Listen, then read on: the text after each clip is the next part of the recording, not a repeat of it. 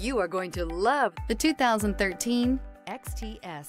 The Cadillac XTS will have every kind of feature you can think of. It comes with a spacious high-tech cabin and packed with lots of safety features. It is a full-size luxury cruiser, a pleasant ride for any Caddy owner.